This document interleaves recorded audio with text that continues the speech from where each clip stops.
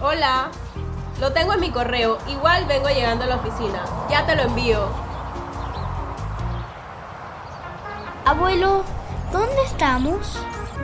¿Por qué no bajamos aquí? Me prometiste llevarme al parque. Apúrate, Pepe. Necesito aclarar algo.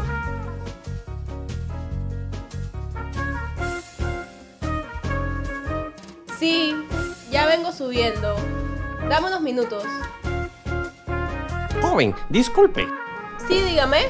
Yo necesito saber cuánto voy a recibir en mi certificado de CEPADEM. Ah, usted lo que necesita es calcular su CEPADEM.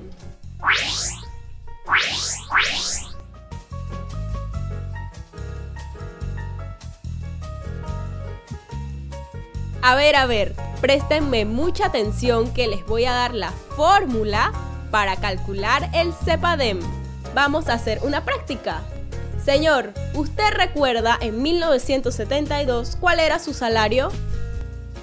Mm, a ver si recuerdo.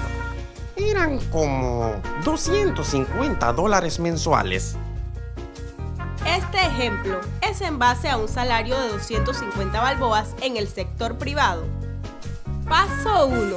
Sume a partir de la segunda quincena del mes de abril del año que va a calcular hasta la primera quincena de agosto del mismo año. Paso 2. Ahora divida el resultado total de la suma anterior entre 12 meses. Este resultado corresponde a la segunda partida del décimo tercer mes. Paso 3. Multiplique el resultado de la segunda partida del décimo tercer mes por el 3% de interés establecido en la ley de CEPADEM. Paso 4.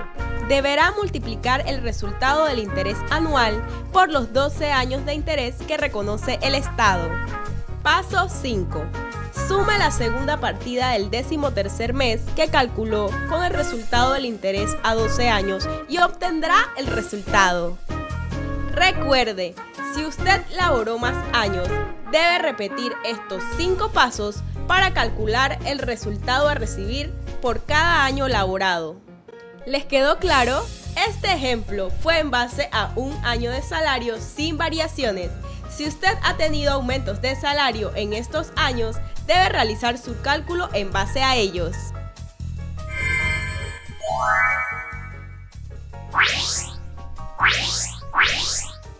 Gracias, hija. Ahora ya sé cuánto voy a recibir en mi certificado. Déjame apuntarlo. Tranquilo, abuelo. Yo le tomé una foto con tu celular.